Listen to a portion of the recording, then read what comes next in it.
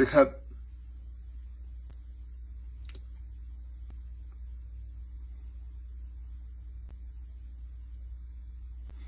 สวัสดีครับ สวัสดีครับ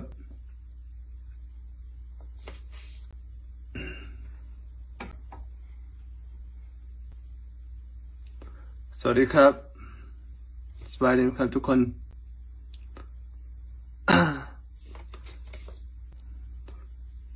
สวัสดีครับ 사리움 감축탄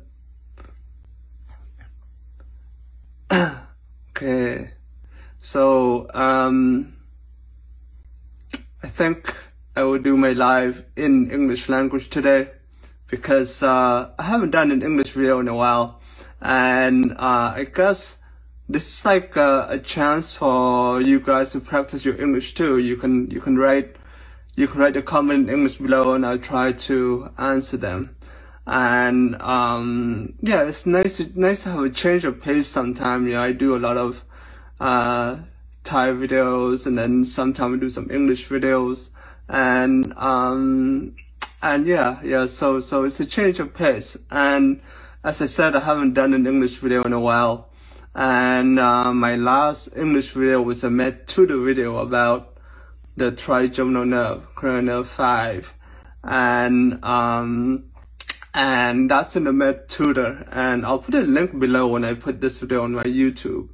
And, um, as I said, that, that video, um, I talked about the, the motor branch, the motor branch of the trigeminal nerve, or we call it the mandibular nerve, the motor branch of the mandibular nerve. So V3 and that controls the muscle mastication, you know, when you chew something and basically the first, uh, the first pharyngeal arch, the muscle of the first pharyngeal arch, so the, the muscle of mastication when we chew something, grinding food and things like that. That's the tri, the, the, the motor part of trigeminal nerve. So, uh, as I said, uh, I'm gonna do the live in, uh, English today and you can comment below in English club and I will reply to you in English. So today is like uh, for you, a chance for, for you guys to practice your English too, to change your pace, change your pace. สวัสดีครับ สวัสดีครับทุกท่าน วันนี้ฝึกภาษาอังกฤษกันไหมครับ?ในถ้าถ้าท่านคอมเมนต์ คอมเมนต์เป็นภาษาอังกฤษนะผมจะตอบเป็นภาษาอังกฤษนะครับ Alex Lee glad to see you again. Glad to see you too Alex Lee. And thanks for commenting in English. So look, today we'll, we'll, we'll do the video in English, you know, just, just to practice your English and to change of pace. And, um, yeah, so it must be like uh, lunchtime in Thailand now, right? And it's about like 9, 9 p.m. Uh, Pacific time on, on the west coast of America. So uh, so yeah, just um, I hope you you guys enjoy your lunch, and um, and as always today, um, I think we will do some some uh, some questions, some practice questions today, and um, and as I said, you know, I get these questions from from Kaplan. And uh, and I, I said many times that we want to have our own question bank, our own Q bank, and um, this is what what what we're we're working on at CMAC. We want to have our own Q bank for our students to practice, because as I said, you know, when when you have a Q bank, when you do the question, that's how that's how you apply your knowledge that you've learned in the classroom. So to to apply the knowledge that you've learned in the classroom Good morning from Denmark. Hello. สวัสดีครับ Good morning. Uh, and good morning from Australia. Oh, Australia must be beautiful now. Uh, it's southern hemisphere, so must be cold in Australia, right? Right now. Okay. So, uh, yeah, I'm glad that many, you know, uh, many of you are commenting and uh, saying hi. So, I was saying about the Q Bank um, when you practice, uh, you know, when you, you practice, it solidifies, solidifies your knowledge and solidifies the way that you practice your knowledge. And, uh, as I said, that, um, that we're working on our Q bank. and our Q bank will be more of a study tool. You know, you can you can use a QBank from day one of your medical school all the way to residency, and um, and I want it to be a study tool. I want to I want a QBank to to make sure that you you have strong knowledge base. You know and uh, and so everything in a QBank will be will be try to solid, solidify your your core knowledge, your your your your basic knowledge, uh, your basic uh, core principles and stuff like that. I'll give you an example of core principle, core knowledge. You know, um, let's say uh, thyroid questions, right? You need to know your lab value to be able to answer something about thyroid questions and um, what they like to test about, like in every um, exam, uh, you have to know your your two values, right? You have to know your TSH, which is the thyroid stimulating hormone, and also your thyroxine, your T4, you know?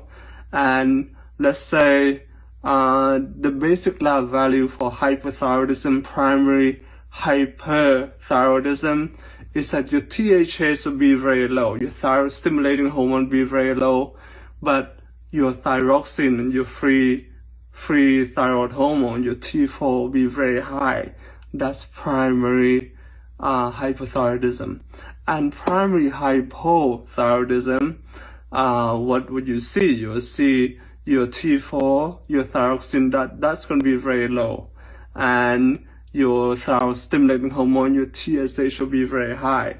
So this is like the basic uh, knowledge that you should know about thyroid. And, and if you have that down pat, if you have that core knowledge down pat, you can answer every thyroid problem that they have on your board exam. And even if they throw you a curveball, even they try to trick you, if you know those lab values, you're gonna get every problem right on your lab on, on your board exam. And let me say this before we move on. Um, you know, when I say primary hypothyroidism, what is what does primary mean? Primary means that the problem's coming from the thyroid gland. That's primary hypothyroidism. So when I say primary hypoth- hypothyroidism, I mean that your thyroid gland is, is putting out so much thyroid hormone and that's coming from the gland. That's problem with your gland. So that's primary hypothyroidism. So your thyroid hormone will be high naturally. Your your your your your thyroid hormone, thyroxine, the T4 will be sky high, but your TSH, your thyroid stimulating hormone will be very low. Why? Well, thyroid stimulating hormone is coming from your pituitary. Your pituitary gland sends out your thyroid stimulating hormone, and that's that that's going to go into your blood and it's going to go to your thyroid gland. And the job of TSH or thyroid stimulating hormone is to do what what what what is called you know thyroid stimulating hormone. It's to stimulate your hormone gland to put out thyroid hormone. So so in primary hyperthyroidism, the thyroid gland is putting out so much uh, hormone already. So your TSH don't need to stimulate the thyroid gland, your TSH should be very low, right? And the opposite, hypothyroidism, primary hypothyroidism, that means that, that your, your thyroid gland is not putting out enough, uh, thyroid hormone because of, of you have, you have something wrong with your gland. So, your TSH, your thyroid stimulating hormone, will sense that the blood have very low thyroid hormone so it's going to want to stimulate your thyroid gland to put out thyroid hormone. So you, what will you see in the lab? You will see that TSH, thyroid stimulated hormone, will be sky high, will be so high, right? Because it's trying to stimulate your your thyroid to like put out the, the thyroid hormone. So that's going to be very high, and the thyroid, thyroxine, thyroid hormone will be so low. So primary hypothyroidism low TSH, high T4, high thyroxine. Primary hypothyroidism, TH, TSH should be very high, and your T4, your thyroxine will be very low. And this is the basic uh, concept that you need to know to be able to answer thyroid question in your board exam. And as and, and as I as I said, my um my Q that I'm working on is gonna solidify your core knowledge. You know, it's gonna make sure the students have very strong core knowledge so that you know when they go into the board exam, when they see other other test questions, they can like handle all the curveballs. They can handle all the trick questions. Because like I really believe if you have your core value down, you know, even if you if you even if you face with a trick question, um, you know, you you you're gonna you you're gonna be able to answer the right question if you know the if you know your core concepts, and you know I'm saying that that other Q banks like UWorld or Kaplan, those are premier Q banks, those are very good, those are very good Q banks, but sometimes um, I think those Q banks are very good, you know, when you, when, when you have all the knowledge and when you're like taking, you know, six months out from your board exam, uh, you should get, you should definitely get UWorld and work on those, uh, questions because, you know, uh, keyword is very close to the real exam, but if you, if you don't have enough knowledge, if you're like first year medical student or whatever, if you get UWorld, you you can be tricked out by those questions. Those questions are very tricky, and that you know you, you I don't want like you know your moral to go down to feel bad or something like that, or you know the or you know Q Bank. Uh, UWorld and Kaplan, they're, they're pretty expensive. So, you know, if you're starting a medical school, if you don't have enough knowledge and you get Q and you start doing it, you, you get tricked out and you will not understand uh, you you won't understand um, um, the concept they explain to you because you don't have the knowledge. So my QBank that I'm working on, it's it's gonna be it's gonna be um, um, the goal of my QBank is gonna be to build up your core knowledge. You know, have a strong base so that when you're ready for your board exam, you you can get your Q world. Uh, you can get your UWorld and then work on those trick questions and everything like that. So everything starts with the basic knowledge and to have a strong foundation of your knowledge. That's what my QBank uh, uh, will be like. So today, let's do some questions together in English. And I see a couple of you, uh, of you, um, um, uh, typing in English, which is good. Well, Alex Lee said that he hates trick questions. Yeah, I hate trick questions too, but as I said, if you have strong core knowledge, if you have strong like knowledge, no question can trick you. You have that basic skill down. So, uh, so that's a good thing. All right. So let, today let's work, let's work on a few questions together. And, um, I wrote this question out on a piece of paper, but when I put this video on my YouTube, I'm gonna put in the graphic and I'm gonna put in the questions, um, on that so you can clearly see the question. And, and as I said, I, I, I got these questions from uh, from um, from Kaplan, Kaplan QBank. And the first question, here we go. I'm gonna read it slowly.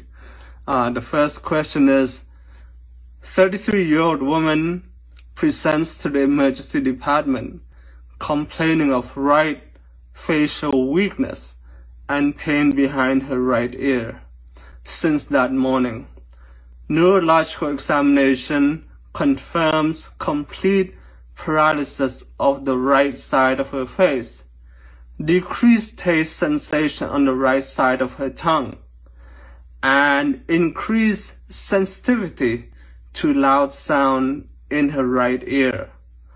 Um, the rest of neurological examination is normal. The patient is given short course of steroid and her facial weakness improved gradually over the next few weeks. In addition to symptoms described, which of the following might the patient also develop?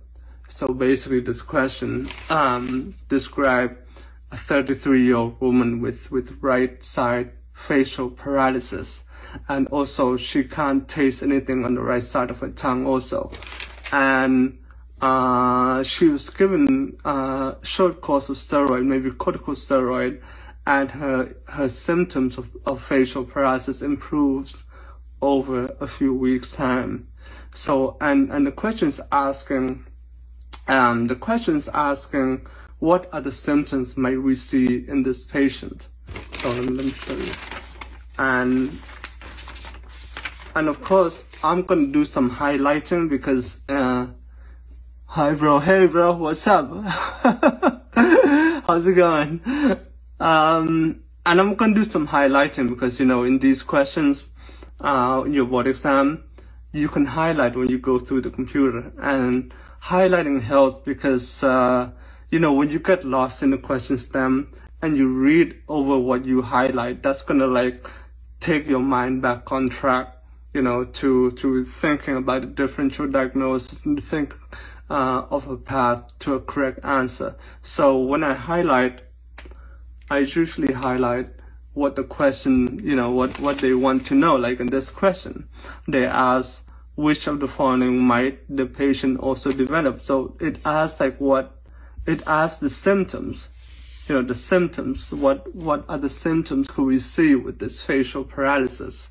And uh, what I like to highlight is I, I would highlight um, the age of the woman, 33 year old woman, and highlight the sex of, of the patient. She's a woman. And, um, and all the symptoms that the, that, that the patient have in the question stem. So, so right facial weakness and also, um, pain behind her ear. And also she has, um, paralysis of the right side of her face and decrease in taste, decrease in the taste, right? And um, and everything else is normal. Neurological exam exam is normal, and she's given corticosteroid, so that's that's uh, so that's um that's important, and also she has very hypersensitivity in, in, in her hearing, right? So that's that's an important clue uh, on the on the um, on the question stem. So uh, so I have, I've highlighted I've highlighted um, what they asked for. They asked for like you know what what other symptoms this patient might have. I've highlighted the woman's uh, age. I've highlighted you know, her sex. She's a woman and she's 33 years old. I've highlighted all her complaints, which is, you know, right side facial weakness, right side paralysis, uh, hypersensitivity in her right ear, um, and, and the loss of taste on the right side of her tongue. And I've highlighted the fact that she's on corticosteroid and how corticosteroid is improving her symptoms. So with all of this, information, can you make a guess of what this one woman, woman might be having? Like what, what is the problem? You know, what, uh, what is going on with her? Can you make a guess? Somebody guessing? So with this information, uh, when I read this information, I think that she has uh, um, something that we call Bell's palsy, right? You you guys heard Bell's palsy, right? It's like right right facial paralysis, temporary paralysis, not permanent. And usually another clue is that, you know, uh, usually they give corticosteroid to decrease the inflammation, decrease the inflammation of, of, of the patient's facial nerve. And also, um, and also facial weakness, uh, right ear, um, hypersensitivity to noise, the taste, you know, loss of taste on the right side, everything.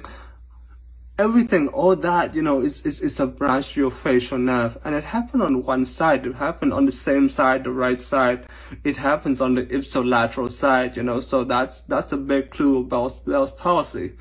And, uh, Bell's palsy, Bell's palsy is like a paralysis of, of, of your face, but not permanent, just like, you know, uh, uh, temporary paralysis of, of one side of your face. And nobody knows the exact cause of Bell palsy, but, um, but, um, but, but we think because, you know, the facial nerve, but we think because of the facial nerve exits a very little hole from the skull to your face. And that foramen that the facial exit is called stylo, um, stylomyeloid foramen. And that foramen is very narrow.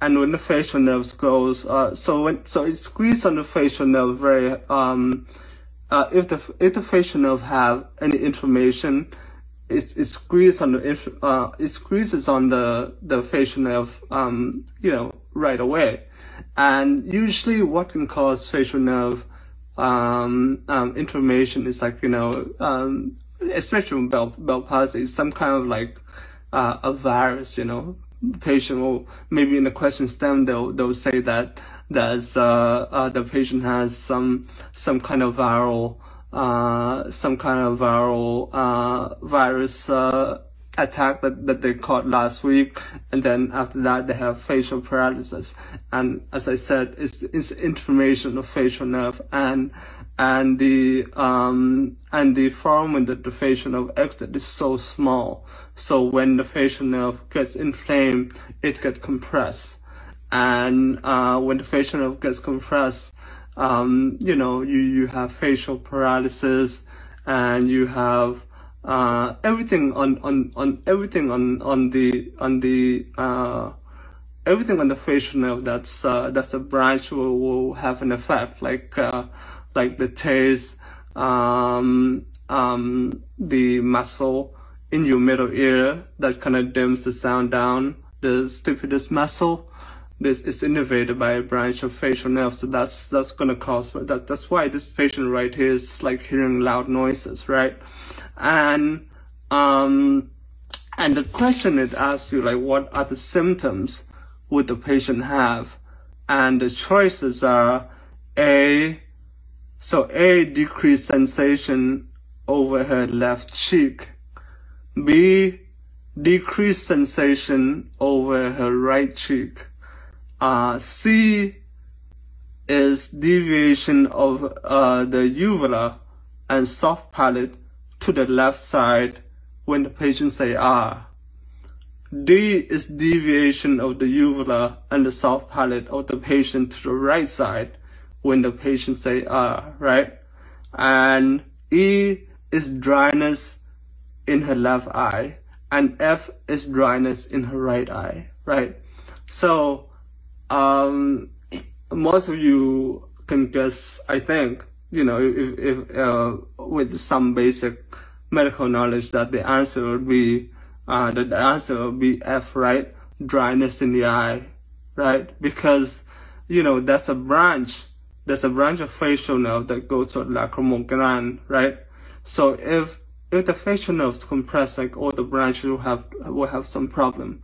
So if a branch of the facial nerve that's going to the lacrimal gland is compressed, uh, so the eye, the patient's eye be very dry. The patient eyes be very dry, and also uh, with the facial nerve, you know, the, the, the patient cannot blink also. So uh, with patient with palsy, um, it is recommended that they use eye drop and maybe a patch, and then also, you know, this patient right here, she's on corticosteroid anyway. You know, the corticosteroid will help with the inflammation, right? And the other choices why they're wrong um, choice A sensation over her over her left cheek. Sensation of the face is not facial nerve, right? Sensation of the face is what? Trigeminal nerve. Cranial nerve 5 control the sensation of the face. And and facial nerve, cranial nerve 7 controls the, the motor function, you know, the facial expression, that's, that's cranial nerve 7. But the sensation of face, that's trigeminal nerve. Um, how about deviation of uvula? Uvula and the soft part is, contro is controlled by what? Cranial nerve 10, vagus nerve. So that, that has nothing to do with facial nerve. So that's not the answer, right? How about dryness in her left eye? Well, that's, that's uh, contralateral side, right? if it's Bell palsy, everything's going to be on the same side because uh, because it affects the facial nerve on one side. So that's that's not the answer. And the answer is like the answer is dryness in her right eye because the patient has uh, has Bell palsy on the right, so that her facial nerve is to be uh, to have problem on that side, all the branch of facial nerve like the, the branch go to lacrimal gland, the branch goes to a tongue, uh, will will will have a will will have some kind of problem. Also, the taste, the taste, uh, is controlled by uh by branch of facial uh by facial nerve to the anterior two third of the tongue, right? And also that that actually works with cranial nerve five. Cranial five controls the sensation of the tongue in the anterior two third. Cranial nerve seven controls the taste. So that's that's two things working together. Sensation sensation of touch, pressure, and stuff like that. That's by nerve 5. Sensation of taste, that's by nerve 7. So the answer to this question right here uh, is a woman that has Bell palsy. And, um, and so, as I said, um, as I said, the problem with Bell palsy is inflammation of facial nerve, right? and when inflammation and, and, and when there's inflammation in facial nerve, the facial nerve uh, doesn't work properly. So that's so all the branches of the facial nerve will have problem like facial movement, lacrimal gland, um, hearing, and uh, the taste. The taste, the, the taste of the anterior two thirds of the tongue will, will, will, will be affected. And essentially that's what we see in this question stem right here, right? and then you, you just have to apply that knowledge. You just have to apply your knowledge of the facial nerve. And you can, you know, you, you can see other choices, other choices, you know, with the sensation that's not cranial nerve 7, sensation of face cranial nerve 5, you, so you can cut that out. That's not the answer.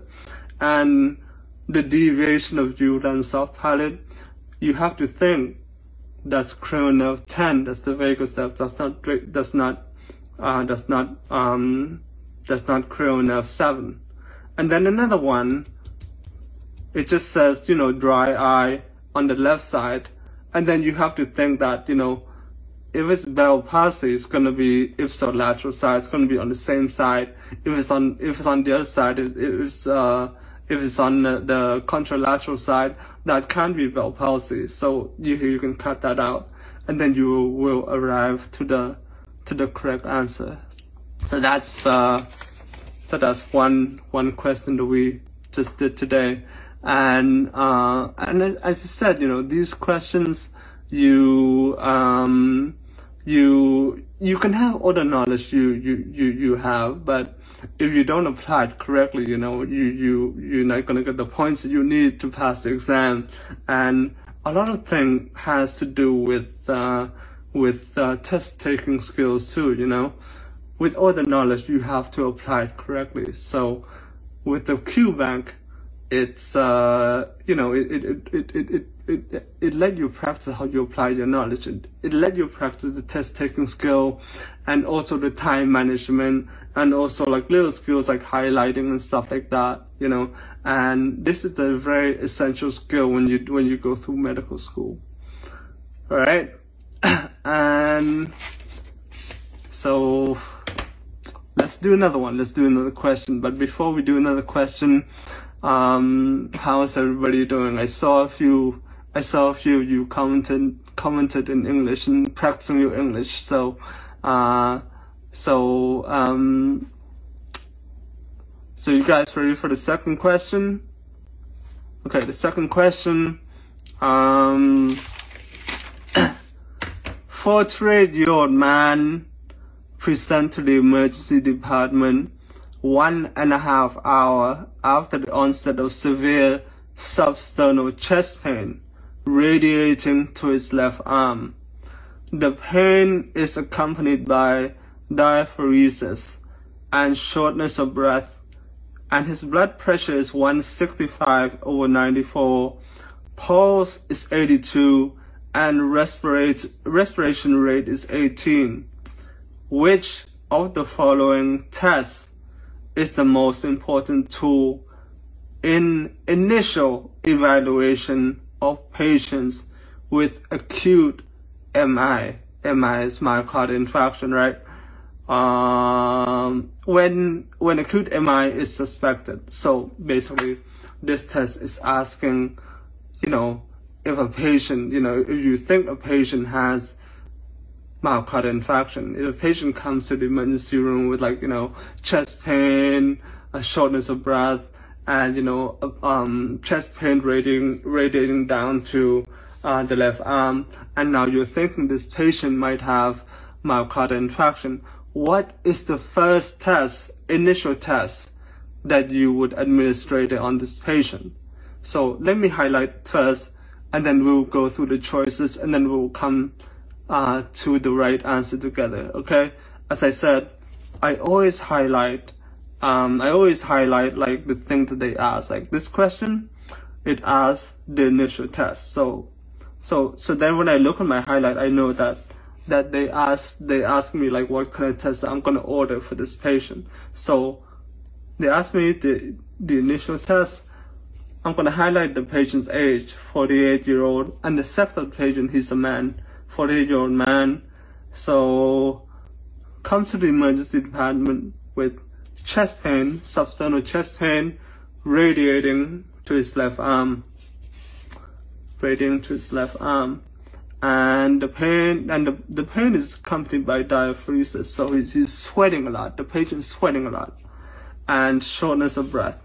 And his stats: blood pressure 196 over 9, 196 over 94, pulse 82, respiration rate 18, and then it asks, you know, what test I would order for initial test that I, that, uh, for the patient that I think has MI, what test is the first test that I would order. And as I said, I'm gonna put, I'm gonna put, I'm gonna put this you know, I'm gonna put this video on YouTube, and then when I put the video on YouTube, I'm gonna put uh, the questions up there so you guys can see the question correctly, and I'm gonna put the graphic and everything so everything will be easy. But when I highlight this, you know, when I get lost in the questions, then when I'm doing these questions, um, when I read over what I highlight, that's gonna like trick my mind to like come back to the right place and to go you know, to, to try and like, you know, like think of the, the correct differential diagnosis, you know, like, like your, your brain has to be like, like, like, you know, in, in the right train of thoughts. And sometimes when you're doing these questions, you, you can get lost pretty easy. So highlight helps me bring me back to the, to, to, to the correct train of thoughts. And so the choices about, the choices about these tests, let's see a is um, aspartate aminotransferase. B is uh, CKMB, so creat uh, creatine kinase myocardial bound. C is EKG. D is echocardiogram. And E is lactate dehydrogenase. So it's asking, you know, like what's the initial test that I would order if I suspect that this patient has myocardial infarction. And so what, what, what do you guys think the, the correct answer is? And the choices, let me read them again. A is aspartate aminotransferase. B is creatine kinase myocardial bound. C is EKG. D is echocardiogram, and E is lactate dehydrogenase. So a patient comes to you and you think that the patient has uh, myocardial infarction. What would you order first? Anybody? Comment below. Comment below.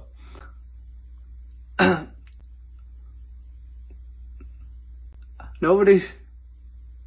Okay, so you know, this is a very good example of that. You have to read every word of the question stem because, you know, all these, all these answer here, all the answer here, they're all correct. Every, every choice is correct. Everything, everything A, B, C, D, E, all the choices will show up at some point uh, if you have myocardial infarction. You know, like if you do some lab tests, um, creatine kinase, myocardial bound to show up, uh, lactate dehydrogenase will show up if you have if you have uh, myocardial infarction. But the question asks you the initial test, the first test that you're gonna order. what would it be? And the answer is, you know, EKG, right? EKG, electrocardiogram, because, you know, electrocardiogram is a gold standard for, uh, for myocardial, myocardial infarction. EKG is the first thing that you order. And, and you know, that, that's, that's, that, uh, with EKG, you can see the difference, you know, um, initially. You don't have to wait for you don't have to wait for like blood draw to see like some some kind of lab value. When the patients come in, you can do an EKG right away, and you're gonna see that you know maybe this patient has acute MI and stuff like that. And normally with EKG, you know you see you see the electrical electrical activity of your cardiac cycle of your heart, right? And all that all that up and down, up and down, like what what are they? You know, like that's actually you know, these waves, I'm going to explain to you real quick. Normal, for normal EKG, that's the P wave, right? And then that's a quick QRS complex. So, so P and then QRS, and then that's a T, T wave, right? On the first thing when you look at on the EKG, the P wave, what is that? P wave actually your atrium uh, depolarize, depolarizing. So your atrium, the top part of your heart, contracts, right? And you're gonna see that as a P wave. And then you're gonna have the QRS complex. That's QRS complex like that, like quick wave like that, QRS complex. That's when your ventricle contracts. That's the bottom half of your heart. That's when that contract. That's a QRS complex. So P P wave atrium, atrium contraction, QRS complex, that that's the ventral contraction, and then you have the T, the T wave. The T wave is the is the repolarization of your ventricle. So your your ventricle like you know returns returns to the normal shape after contraction. And one thing that we're missing on the EKG is your atrium uh, repolarization. That actually happens during the QRS complex. So when the ventricle contracts, your atrium will repolarize. But you don't see that on EKG because, you know, when you when, when, when, when your ventricle contract, that activity is so big. It's a big activity that, that it masks your atrium repolarization. Okay. So normally when you look at the EKG, you see a Q, you see a P wave, P wave, that's your atrium contracting. And then you have the QRS complex, QRS complex, that's, that's your ventricle contracting. And then you have your T wave. And your T wave, as I said, is your, your ventricle repolarizing, your, your, your ventricle returning to the normal shape, is dilating. Right? And then what happens, what will you see on your EKG if the patient has acute MI, if the patient has acute myocardial infarction? You might see, uh, you might see, um, an elevate, elevate ST, an elevate ST, right? Or you might see a, uh, um, a depressed ST, depressed ST, or you might see a Q wave, right? And these will signify to the doctor when, when the doctor is reading EKG that this that this person might have acute MI. So if you see like an ST elevation or Q or Q wave, what does that mean? That means that the patient maybe has um, myocardial infarction. Uh, that is uh, something we, we call a transmural infarction. Transmural infarction is that uh, that um, that there's a necrosis of the whole thickness of the left ventricle, like the whole the whole muscle of the left ventricle uh, um, is infected. And necrosis, yeah, I want to explain this word. Necrosis means that the heart muscle, the cardiac muscle, is dead and it's dead because there's not enough blood to come and you know come and give like nutrients come and give an oxygen to to to the myocardium to the to the heart muscle so so the heart muscle dies. And the transmural infarction just means like, you know, the whole thickness of the left, of the heart of the left ventricle, the whole thickness of the wall, um, uh, is, is infected. It's, it's, it's, it's, the whole cell is dead because there's not enough blood. And you're gonna see that as a Q wave on the, on the EKG or ST elevation and that's transmural infarction. And I said that's that's the whole thickness of the wall uh, that that the, that that the cell and that the tissue is dead. And um, another form of infarction is called um, is called subendocardial infarction, and that basically means that only the inner wall only in the wall of the heart muscle, only in the wall of the myocardium is is is is, is dead, is is in, is infected, and uh, and um, what are you going to see if if if it's uh, um, subendocardial infection? You're going to see uh, ST depression. It's it's, it's a non-ST elevation infection, so you can see the ST wave like like uh, going down like that, right? Uh, so you're gonna see that and that basically means that your coronary your coronary artery is like it's not fully clogged. Your coronary artery, artery might have like a little bit of atherosclerosis or might might have a little plaque that the, the blood's go still coming to the to the inner wall to the wall of your heart, but you know it's not coming enough to the in in in inner wall of the myocardium. So the inner wall, the myocardium will be infected and uh, so that's what that's what you're gonna see in your EKG. In your EKG, you might see, as I said, a Q wave, ST elevation or ST depression, and that's gonna tell the doctor that this patient has acute myocardial infarction. And as I said, this this answer to this question, EKG is the best answer because EKG does the initial test. But, you know, all the answer here is correct. All the answer here is correct because at some point, all these, all these markers are going to show up. Like if you do a blood test, uh, let's say, um, aspartate aminotransferase, that's going to show up, uh, two days after the patient have myocardial infarction, but it's not specific. That comes up if the patient has myocardial infarction, but it comes up two days later.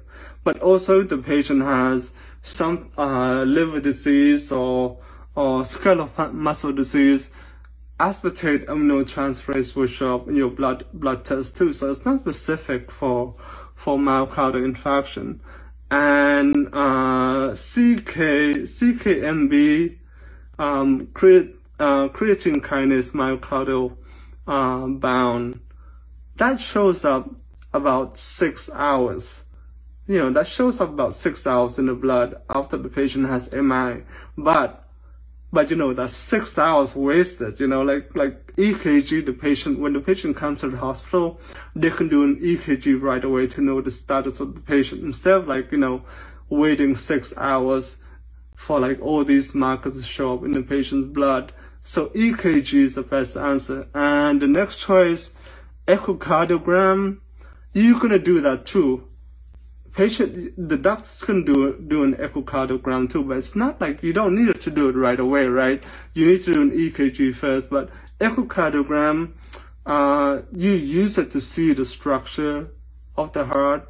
So after the patient has myocardial infarction, you know, you can do an EKG to assess the damage to see, you know, which uh, is it, does the patient have MI in the inner wall, uh, which which structure does the patient have MI? Like how, how is it going to affect um, the patient's uh, cardiac cycle? What kind of like, what kind of medication does the patient need, like beta blocker or something like that, uh, to slow down the contractility of the heart? So, so EK, so echocardiogram, you, you need to like, you know, assess that with the patient, but later on, not, not initial, not initial tests, right?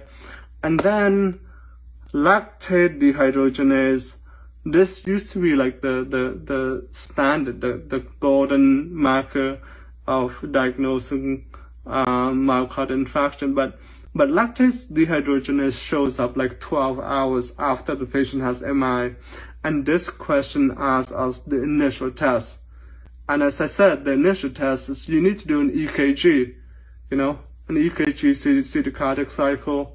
And when you're doing EKG on the patient, you, and if the patient has acute MI, you're either going to see ST elevation, a Q wave, or ST depression. But all this answer is correct. You're gonna do you you're gonna do all this to a patient, you know, at some point. But the initial test will be the EKG. So this is an example of like reading the question carefully, right?